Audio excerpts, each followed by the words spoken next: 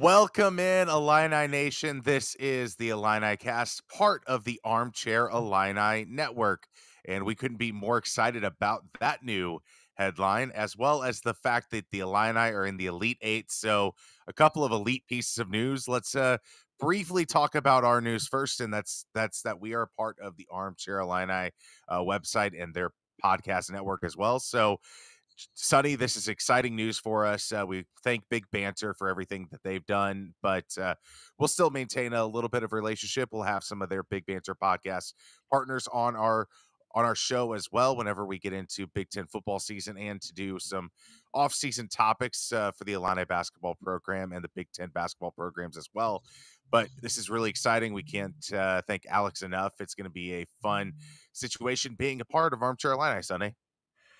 Yeah, absolutely. Uh, you know, this show has grown uh, tremendously since uh, August. I think it was our first episode, uh, shortly before the football season started, and to reach the levels that we've reached now, I'm, you know, I'm flattered. I'm floored that you guys take the time to listen to us uh, as often as you do. Um, YouTube wise, you know, we're. I think I saw someone pointed it out to me like um, we're the second biggest YouTube channel uh, based on Illini athletics, which is just completely surprising to me. And uh, honestly, over the past couple months, we've gotten overtures from several different outlets asking uh, to see if we wanted to go under their umbrella. But you know, we always had a really good time uh, with Big Banter, and you know, Brant, I owe a lot to kind of giving me my start doing all this. And so we've never really felt the need to go anywhere else. And then the Armchair Illini guys kind of reached out, and that's a website that's reaching almost 300, 400,000 uh, eyes a month. And that's a lot of Illini fans who, you know, may or may not know that Illini Cast even exists. And, you know, just going through their website, they just do fantastic work with their content, uh, their articles. You know, the Illini basketball uh, guys, they're amazing at what they do. Their watch parties, um, you know, are super enjoyable to watch and so you know after just kind of thinking it over between austin and i it just kind of made sense for our show for the illini cast to kind of take that next step um, you know expose ourselves to a, a larger Illini audience that again we don't know whether they know we exist or not. So I'm super excited uh, moving forward. We've already had some armchair Illini guys uh, on our show in the past, and you know I'm sure we're going to continue to do that now uh, that we're all under the same umbrella. But again, as you said, nothing but positive, wonderful things to say about the Big Banter Boys. Uh, they always have an open invitation onto our show, and it, you know there'll be future collaborations uh, for sure. But I think uh, if you're involved in the Illini community, this is a great news for everybody. Absolutely. I mean, there are so many great creators in the Illini content space, and we are excited to be a part of a great uh, website with uh, Armchair Illini. They have a lot of great articles on their website. You may see Sonny and I pop in and write an article or two, get our uh, fingers uh, unrusted first, and and get some words out of there that's not coming uh, through Audioly. So that'll that'll be uh, awesome as well to see those articles be posted.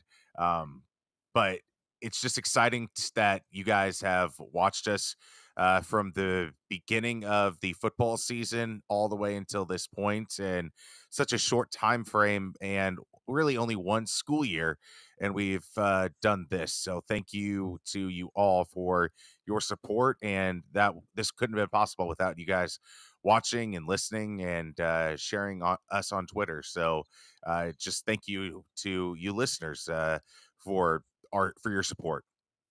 Yeah, absolutely. Our goal was to hit 500 subs by uh, the end of uh, the basketball season, and thanks to the last couple weeks, we've flown by that. I mean, again, it's just super beneficial for our channel. Somehow, I think now we're eligible for like super chats and all that fun stuff now that YouTube offers. And you know, as a content creator, this is just such a I don't know like a redeeming feeling because uh, Austin and I just wanted to talk sports. We just wanted to talk Illini. There's not many people on the YouTube space that were doing it, so we wanted to kind of offer our own perspectives. And you know, Austin's got a background in doing all this. I don't. I come from a marketing world uh, in my nine to five, so trying to do this was something completely unique and uh, I'm just really enjoying the ride. I'm really excited about our future, and Austin, I'm really excited about watching our basketball team. How about you?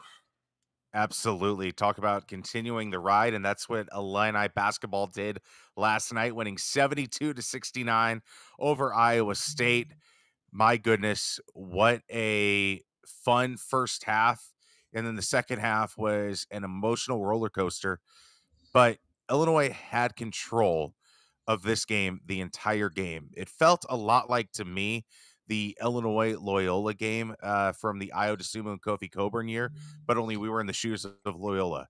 Yes, there were runs by Illinois in that game, but every time we got close, Cameron Krutwig and crew uh, shut the door in Illinois' face. We shut the door on Iowa State's face at all times. It got as close as to two points, but then we scored four more. And then it was a six point game. Then they battled back to two more. Then we would kick it back out to six to eight. And so that's kind of the flow of this game. Good teams are going to make runs. So that's why I wasn't extremely nervous about this game going in in that second half because I felt like the confidence that Illinois, as long as they maintained a lead, they were going to win that game. If they would have lost the lead, then I would have been like, okay, uh, this Iowa State team means business. But with Terrence Shannon and with the fact that um, Dain Dainja stepped up a little bit too in that second half, I felt completely fine that Illinois was going to win that game and take on UConn. Yeah, it's a, it's a game that as soon as the ball was tipped off, uh, Illinois established that they were the better team on the court. I watched the game with a couple buddies, one of who uh, doesn't watch much college basketball. He's an NBA guy, and he was really confused. He's like, "Wait, how's Iowa State the number two seeded team and Illinois the number three seeded team?" Um, the Illini just came out to play. Um, all credit to Brad Underwood and the coaches. They had a game plan. The game plan worked. Iowa State, they just seemed, especially in the first half, just super nervous, and they're taking really awkward shots that I don't know if that was the plan, uh, but you know they're kind of forcing shots, and the shots that they did take were just not very good ones.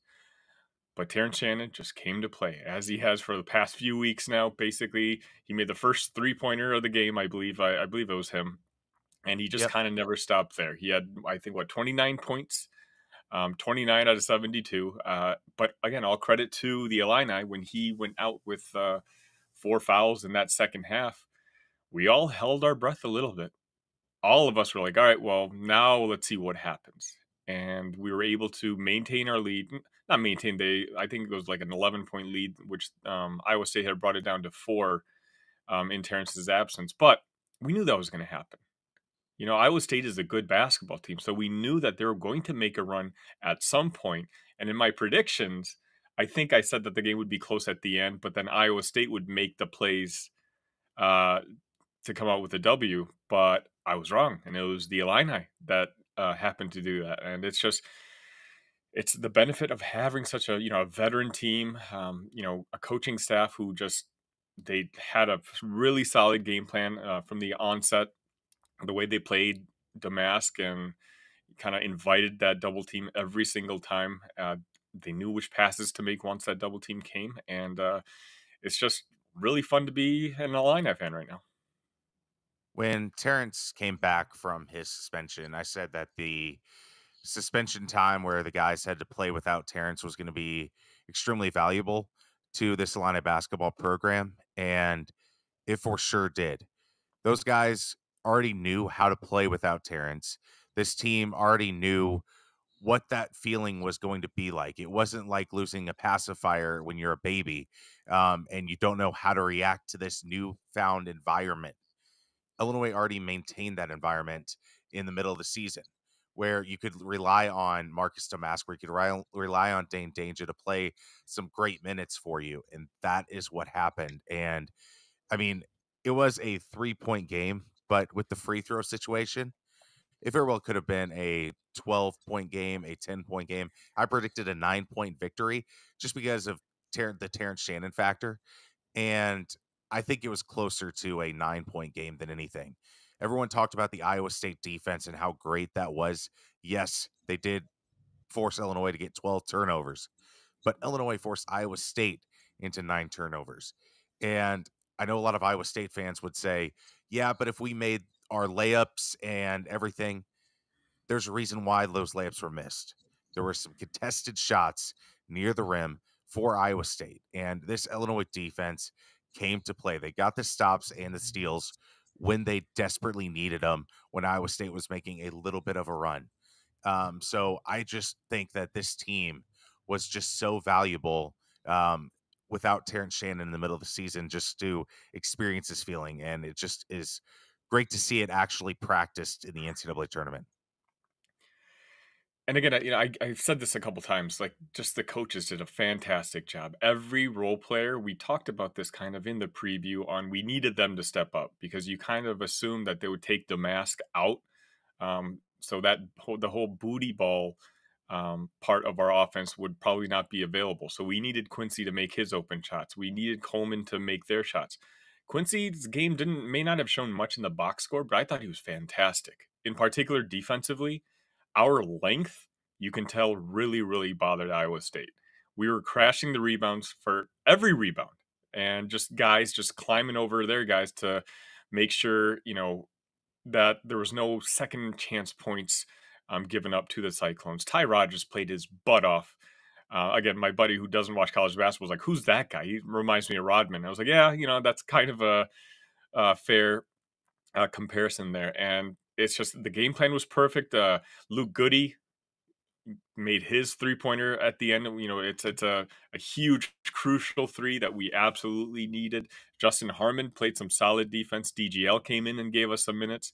The danger zone that we're in right now continued. Uh, he had some up and down moments in the game, but you know his big body, you can tell, really bothered Iowa State, and uh, you know his his ability to grab some of the rebounds. It's just it was a great game for everybody, and you know that includes Marcus Domask, who again may not have had great numbers, but I just think he made the right choices. He only had, I think, five assists, but a lot of he had a lot of hockey assists, uh, as someone was referencing who I was listening to earlier. He he made the right pass, which led to another pass. And uh, Illinois was doing a lot of that yesterday. And Iowa State has a fantastic defense. They really do. And you kind of saw bits and pieces of it. But the way Illinois is built is we're kind of built to beat that sort of defense that they employed out there. We have a lot of six foot six guys who can pass, who can attack the rim. And uh, again, the better team was pretty obvious from the beginning yesterday and, uh, you know, came out with the victory.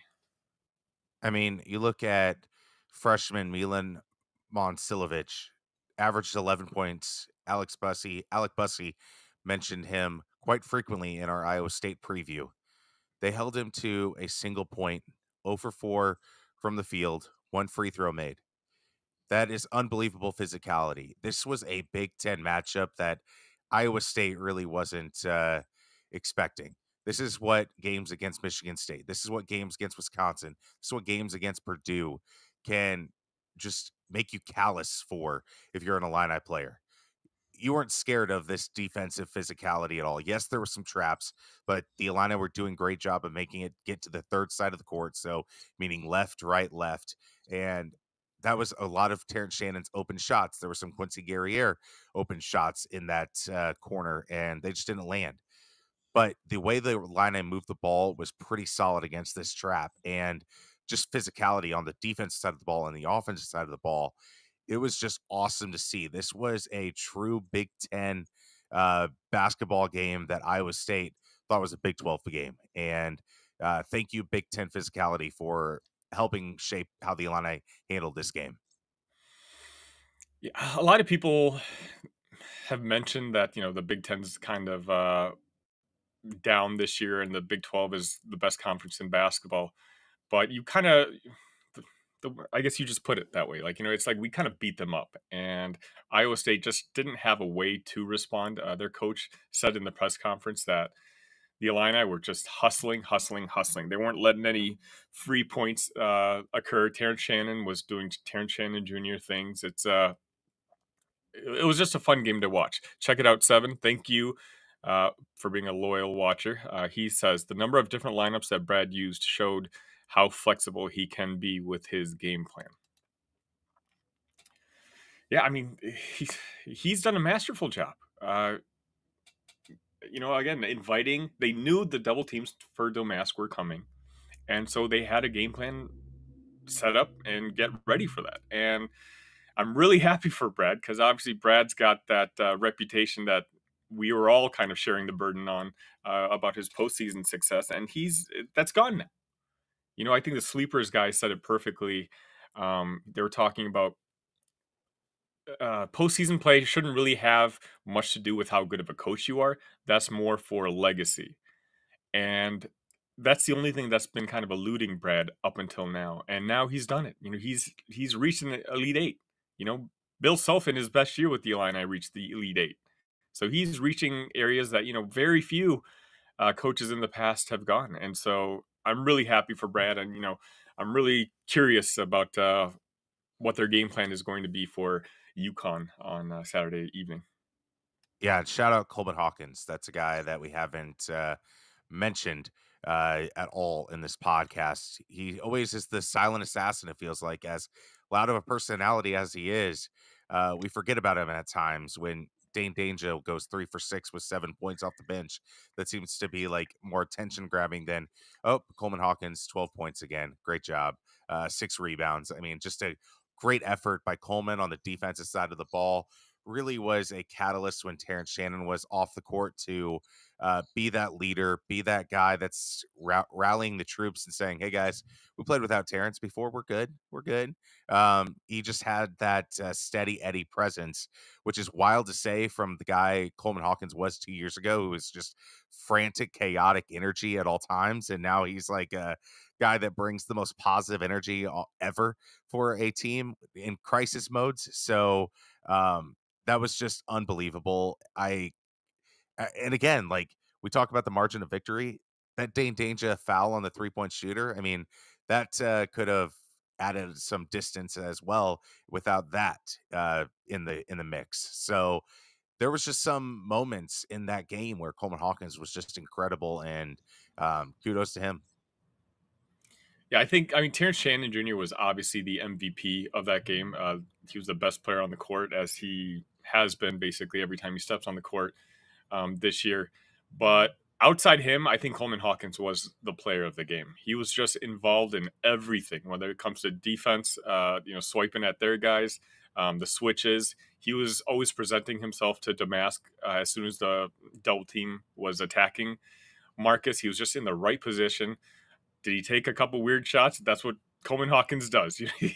Every now and then, once or twice, he's going to line up three, four feet behind the three point line and uh, launch it out there. But one of them went in yesterday. So it's like, you know, you take the good with the bad. And, you know, just seeing Coleman's progression uh, from his freshman year where he seldomly played and now to become like arguably, you know, one of our most valuable players uh, on this team as a senior.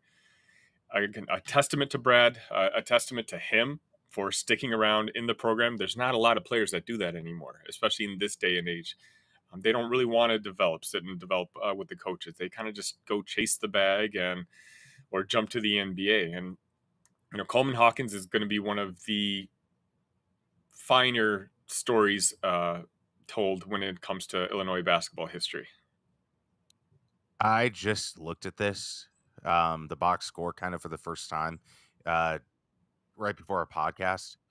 Marcus Domask didn't have the best offensive game, seven points, but he did have five assists and six rebounds, but he played all 40 minutes mm-hmm. of the game.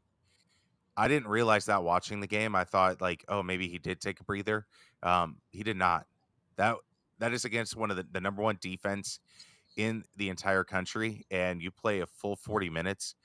That is an exhausting measure, but he handled it pretty well, regardless of the scoring effort he kind of was a he kind of was a great presence just to be a facilitator in this game. And there there's a game where you need a Marcus Domask facilitating game, and he did that for Terrence and for Coleman. Yeah, for a guy who's getting blitzed every time he touched the ball. You know, 40 minutes, what does that tell you? That tells you that again, the offensive numbers may not have been there, but Brad and the staff liked what he was doing. He was they had a game plan and he was implementing it perfectly. And you know, Marcus he's talked about it in some of these press conferences, and uh, you know, he's really enjoying the ride and he's just not letting does not want it to end just yet and so he's doing his part into you know again reaching us reaching levels that it's been a very very long time uh, that we've reached and we're all enjoying the ride at this point. point and let's not forget the major three pointer at the top of the key by Marcus Domask's NIL friend, Luke Goody. What an unbelievable shot that was. I know he told reporters at the end of the game, he's like, that did not feel right leaving my hand. And then it went in. I mean, I talk about just everything going right for the Illini in certain moments where in the past, like if this was a game against Arizona in 2001, that shot banks off the front iron and Luke Walton gets the rebound. I mean, Illinois is in that prime zone right now where there is some luck but it's manifested luck going on. And it's, I mean, it's luck, but it's uh, it's prepared luck. You know, you know, mm-hmm. as you kind of mentioned, all these guys, Luke Goody, uh, Dain Dainja, some games wasn't able to, you know, get on the floor earlier this year. Look at how he stepped up over the past uh, month or so. These are all guys who've had a up and down roller coaster of a season. But as you kind of said, you know, we it was all for this moment. And Iowa State is a very good basketball team. The two t- teams we uh, won in the first beat in the first round, uh, Morehead State and Duquesne, they were okay basketball teams, but one that we clearly were better than. Iowa State again was a number two seed. They were KenPom, I think number four or five, if I uh, recall correctly. They're a fantastic team, and you need contributions from everybody on your team to beat a team like that under those type of lights and that's exactly what happened. Um, you know we talked about it the role players played their roles to perfection. We talked about quincy already we talked about you know coleman hawkins luke goody making that three pointer it's just it's it's nice sort of validation to the entire season that all these guys are going out with giving their best punch before this game i was a little worried about the path that illinois has had in the NCAA tournament. When you played a Morehead State and you played a Duquesne versus Iowa State, who had a ex- extreme test in the first half at least against number seven seed Washington State. I thought the lack of a test might hurt Illinois at least early on in the game because you can get blitzed pretty quickly by a great team and Morehead State and Duquesne are simply not what what Iowa State is and I was a little worried. Like, hey, is Illinois going to come out prepared? Because they're gonna they're thinking they're coming off a cakewalk against Duquesne, and whenever they gave the first punch, I was like, okay, this is Illinois basketball. They are prepared. They aren't letting Iowa State's uh, experience in a tougher road in the NCAA tournament uh, to get in the way of playing great basketball, and that's what they did.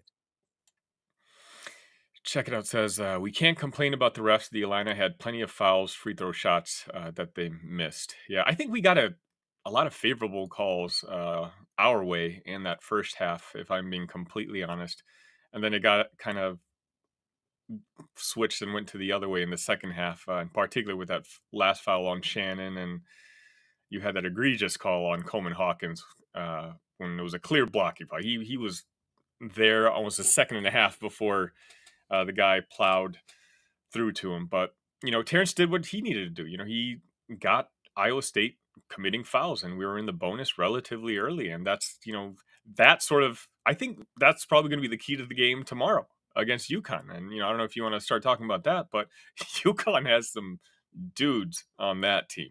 They are, in my opinion, the best team in the country. Um, you know, I think they're better than Purdue is. They've just they've got size, They've got speed. They got they can shoot. Um, they're the number two offensive team in the country. You know, only behind us, except for they play defense pretty well too. And so you know, whereas we're kind of more recently playing uh, a little bit better defense, but you know, there's a huge gap there. And I mean, I think I saw we opened up at as seven and a half point underdogs, but now in some books have it as high as UConn minus ten. So a lot of the money is coming on uh, the Huskies. Uh, probably deserved, but I don't know. I, I just got a feeling. Illinois has the length to disrupt a little bit of what UConn wants to do. When you have a lot of guys that are above six six, that's going to lead to some problems. Where UConn hasn't really faced a team like that, so Illinois is going to be able to switch defensively a lot. Um, where and UConn's just going to have to take their time and find out what matchup they would like to exploit, whether it be with Marcus Domask or if Luke Goode is in. I mean, that's going to have to be the play uh, defensively for the Illini is to just try to keep those matchups in the most favorable favorable position as possible for the longest time, and then hope by UConn just gets a bad shot at the end of the shot clock. I mean, that's going to be the key defensively. Offensively, I really feel like uh, it's going to have to be the Terrence Shannon show. If Terrence Shannon gets 28 plus points, I feel like Illinois will at least be in the conversation. It'll be like a three to four point game, maybe. And then it's just all about two possessions that might tell the story of this of this Illini UConn game. But I don't look at this as a huge like, oh my God, Illinois is just going to get dominated in this Elite Eight game, um, just because of how they played against the likes of Purdue. I mean, Purdue is kind of similar-ish in a way with having a really tall guy down low. I know Clingan's not uh, Zach Edey level of offensive talent, even at that height, but Illinois has never been like truly embarrassed by Purdue this year, and I don't expect that to happen against UConn either. Yeah, I think it's going to be a lot of Terrence. I I think in order for us to win, we're going to have to play a perfect game, and that perfect game may need to be a forty burger from Terrence Shannon. Uh, he's just one of those guys where he needs to continue being the best player on the court. Um, you know, the limelight's on him now. You know, all these publications are releasing articles, uh, kind of bringing his story to light, and so people are paying attention. Uh, you, I don't know how much you pay attention to UConn Twitter, which is a group I was just introduced to uh, as of this morning, and wow, that's a very confident bunch. Uh, I'll try to put it that way.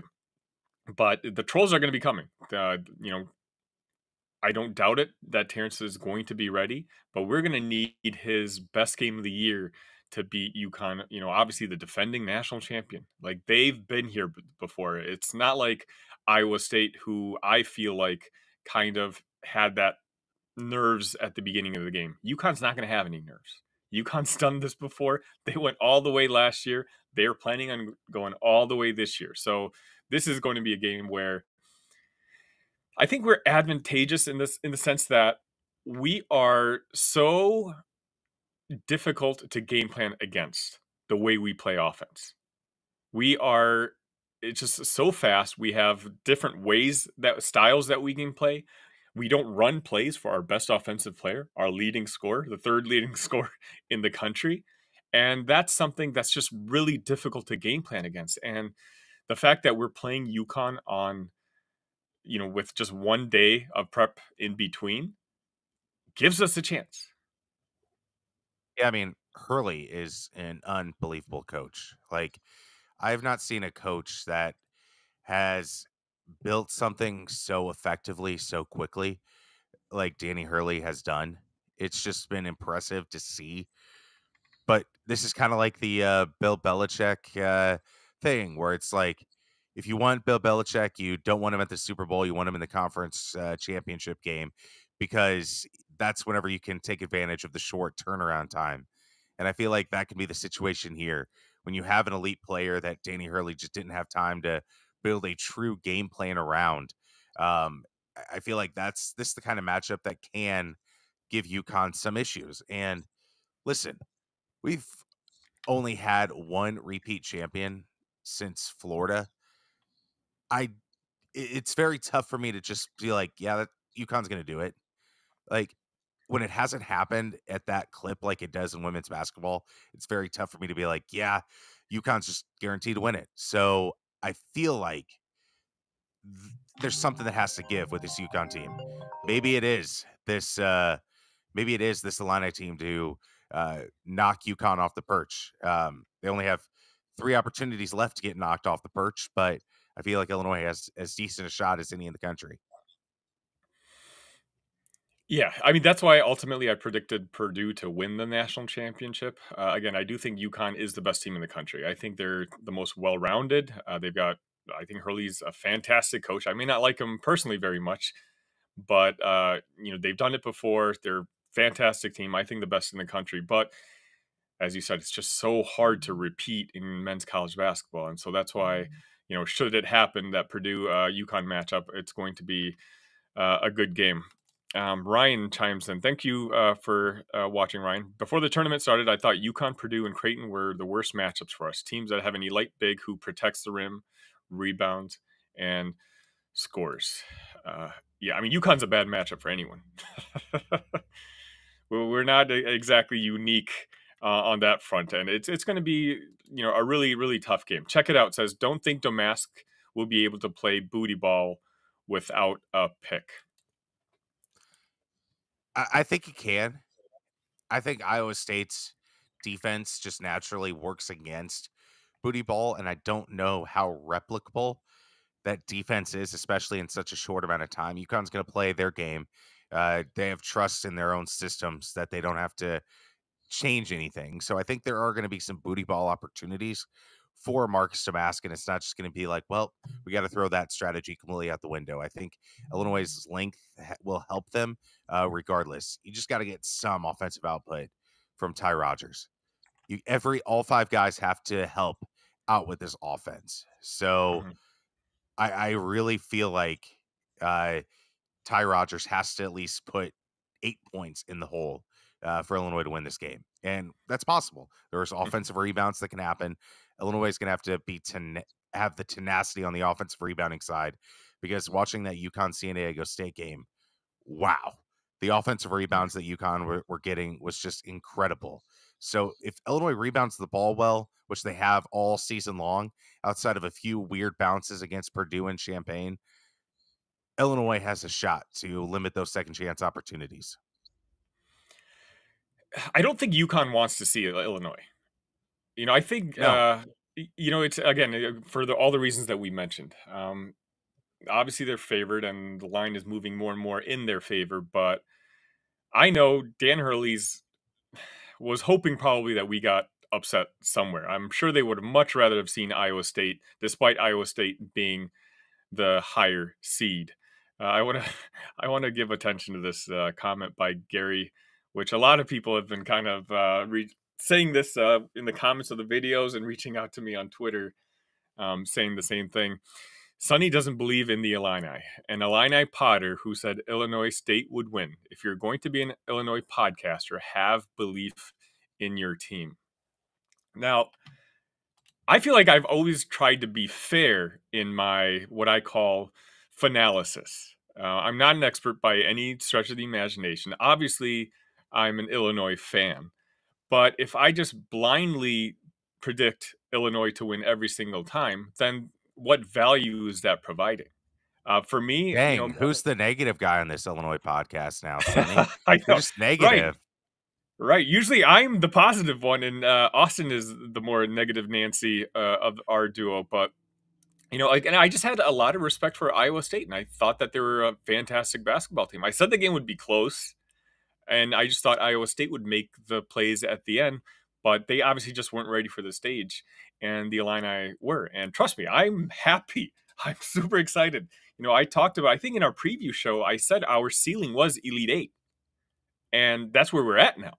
Uh, now, granted, had I known how the season would play out, I would change my answer to national champion because I do think right now, on our best day, we can beat anybody in the country. But um, yeah, it, it's not that I'm being negative, uh, you know, and I really enjoy doing what I'm doing with this Illini cast show, but you know, I'm just trying to give you my honest opinion. That's all. It's uh, it's not that I don't believe in the Illini uh, by any stretch. It's I I really do. I, I'm a big Brad guy. I'm hyping him up on you know anytime I get a chance on the show, whether Twitter, whatever it is. It's uh, yeah, but again, I just wanted to address that because a lot of you have mentioned that. Simeon, I know, uh, I don't know if you're watching live, but you're going to be watching at some point. You're going to kind of say the same thing to keep the faith. The faith is there. I promise, guys. I, the faith is there. These are just my honest, genuine opinions, but understand that behind that, I'm still rooting like hell for the Illini to win. I really feel like this should have been a Final Four matchup or a national championship matchup. You look at who's left in the region with Alabama and Clemson. One of those teams is going to the Final mm-hmm. Four. No, I mean, both UConn and Illinois should be in the Final Four. Like that's that's the frustrating part of this NCAA tournament is that you see a region like that, and then you see Iowa State, Illinois, and UConn battling out just to get to Arizona. I mean, that's just the wild part of this tournament.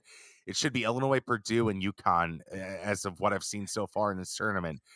Those three should be in the final four, um, but one of those teams can't because of the way the bracket was set up. So the path that UConn has had to have is kind of incredible. They've had three Final Four teams from the last Final Four in that in this region. Illinois, the Big Ten champion, and then Iowa State, uh, the number two seed. And this this region, whoever gets out of it, Illinois or UConn, um, they've they've had to avoid some landmines in there, and uh, they've had some tough competition. But man, this game, I, I just can't, I can't believe it's here. And uh, check it out, seven is right.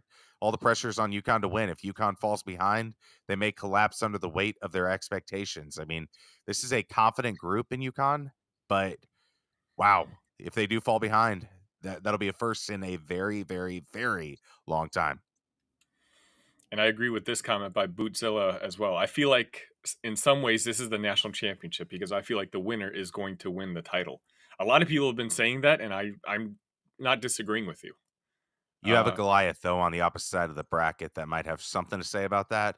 In. Zach Edey and Purdue, Illinois is over 0 and 2 against Purdue. Will that happen a third time? I don't know if this matchup happens again.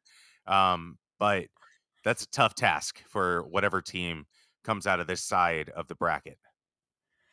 All right, so Austin, to wrap it up, I, I saw this fantastic question on Twitter, and I wanted to bring it on the show, and I'm going to do a poll uh, once we're done. And uh, for those of you watching, I want your answer in the comments too, because I'm very curious on what you think, on what your answer is. Okay, so the question is, would you trade going 0 and 12 next college football season for a national title for the basketball team this year. I, have seen it. It was like 0 for 12 the next decade. Oh, was it the next decade? Okay, l- yeah. Maybe uh, let's do like the next two years. We win three games. Let's I let's change around yes, a little bit because I would say yes for the next two years because as a football program you can build up from the next two years. Um, I, I wouldn't do the next decade because I feel like then Illinois would get relegated from the Big Ten in this weird world of college realignment. Um, but the next two years, hell yes, hell yes, I would. Uh, verbatim, check it out. Uh, agrees with you. Hell yes is his answer. Uh, yeah, I mean, I'm a big football guy. I know a lot of uh, Illini fans aren't, and I think if uh, we pulled a lot of Illini Nation, we'd be getting a lot of hell yeses uh, just because the football interest is not nearly there uh, like basketball is. But I think I would too. You know, again, as much as you know, I'm a season ticket holder. I have been for years, but seeing us hoist a trophy, it's one of those things where you know I don't know if I'm ever going to see that in my lifetime as an Illinois fan. Um, you know, I'd like to think with basketball that you know, with the way things are going and with the way Brad has built this program, that we're going to have opportunities to in the next few years, at least during his run. But I'm not guaranteed that. And so I think, you know, to be able to confirm and be sure that, you know, I get to see it once in my life. Sorry, Bret. sorry, sorry, uh, football coaching staff. I think I would take it. I mean, any playoff appearance is not guaranteed to result in success. I mean, you look at the heroics that happened for the 2016 Cubs to win that World Series. I mean, being down three to one, um, you could get into a situation like Arizona that they're in. Tommy Lloyd has lost three straight Sweet 16s to lower seeds, and Arizona fans are so perplexed about this. They know he's a great coach, but he just can't get it done in the postseason. And it's a little bit of a weirder situation than Brad because he's got out of the first weekend. But that Sweet 16 is just a brick wall that Tommy Lloyd can't uh, burst through. Um, and I feel like if I had one guarantee of a national title, I could watch uh, the rafter, uh, watch the banner go up in the rafters, and know that I was alive when it happened. It's just incredible. Uh, I I would absolutely uh, trade that. All right, so I guess uh, as we're closing up shop, um, final predictions. I have the I, I've not been a total fanboy at all during this podcast. Like I will say that. Um, I firmly believe that Illinois will win by three points against UConn because I feel like Terrence Shannon will be able to carry them to a victory.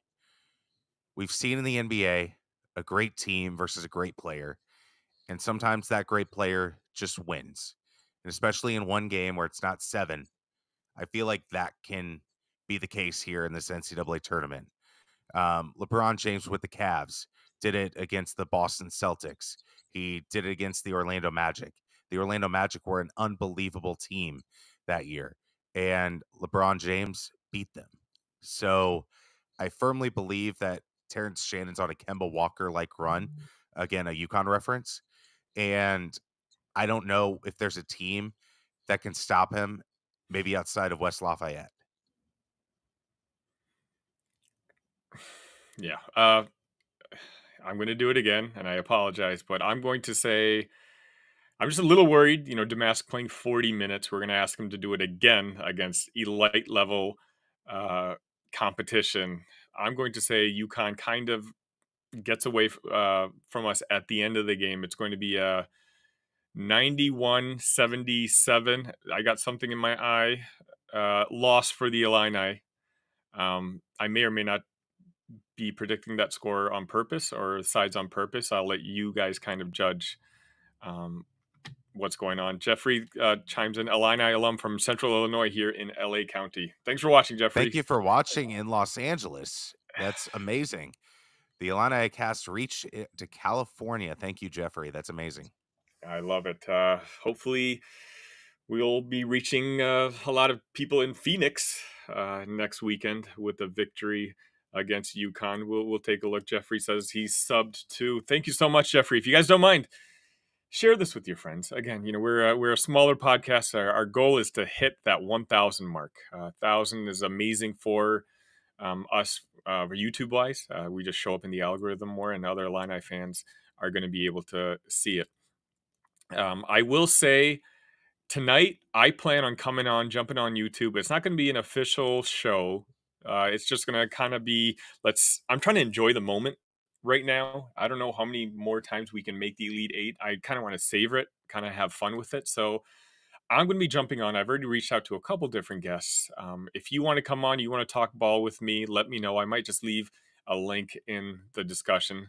You know, it might be uh, it might be a 20 minute show. It might go for two hours. It might go for three hours. Whatever. It's just we, we can talk about whatever you guys want. You know, whether it's the season, uh, if you want to talk baseball started, uh, whatever it might be. Um, uh, I think I set it up for nine o'clock tonight. So be on the lookout. Again, subscribe if you haven't subscribed before. Uh, thank you all for watching. Uh, you know, if you missed the first part of the conversation, uh, you know, we're under a new umbrella now, so we're really appreciative of, of Armchair Illini and that umbrella that we're going to be in. And uh, Austin and I, we do plan on contributing on the writing uh, aspect too. And uh, Austin, any final thoughts?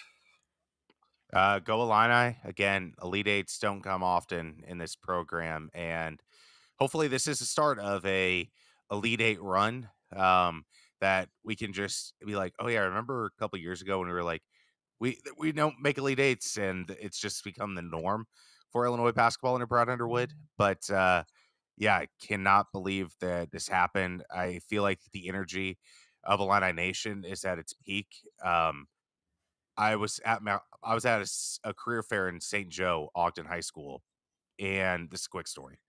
And I was at the Monical's Pizza after I got done presenting, and the amount of Illini shirts in that high school and at that Monical's brought me back to my own childhood, where in Central Illinois, guys were wearing Dee Brown jerseys, uh, and were wearing Illini stuff all the time, and we lost that generation of kids in the John Groce and late Bruce Weber era. I think it's back. I saw kids wearing Terrence Shannon Jr. stuff, Ayo Dosunmu stuff, Kofi Cockburn stuff, and I'm like, this is how universities grow, not only in the athletics program, but for enrollment purposes, um, of getting those Central Illinois kids just invigorated to be like, I want good grades to go to the Illini, um, and be in the Orange Crush, and I feel like that generation of kids is back, and it's great to see.